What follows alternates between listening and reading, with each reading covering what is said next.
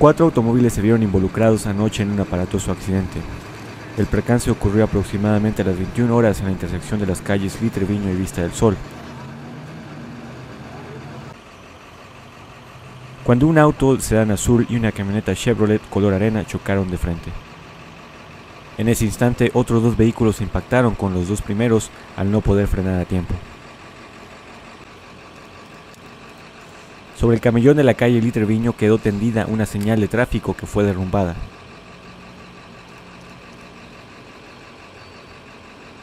Se desconocía el número de heridos, pero testigos aseguraron que varias ambulancias llegaron a la escena para transportar a los lesionados.